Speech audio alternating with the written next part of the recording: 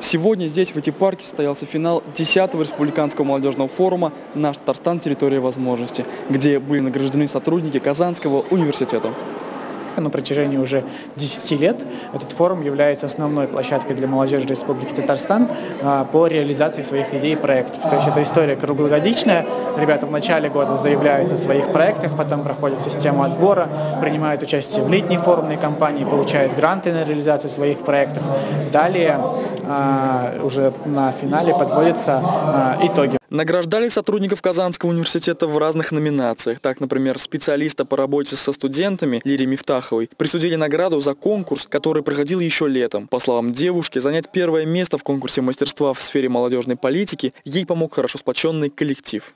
Каждый год э, сотрудник Казанского федерального университета принимает в данном конкурсе участие. И э, как второй год мы держим уже планку, становимся победителями. Такая победа, это, мне кажется, благодаря э, нашей сплоченной команде, что когда готовимся, и когда в том году готовились, и в этом году, когда готовились, уже мы готовились, не один человек готовился, а готовился вся команда. На награждении финалисты и победители форума встретились с министром по делам молодежи Дамиром Фатаховым. Участники получили благодарственные письма, а также имели возможность обсудить с министром свои проекты и внести предложения по изменениям форумной кампании в Республике Татарстан. Нас руководство всегда поддерживает, и это действительно очень важно, иметь вот такую поддержку административную.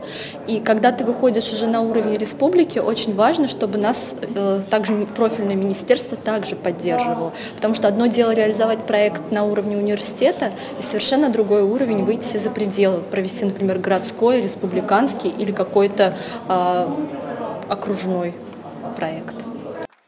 Многие из проектов воплощены в жизнь и уже реализуются на площадках Татарстана. Лев Диденко, Ленар Давлетьяров, Univer News.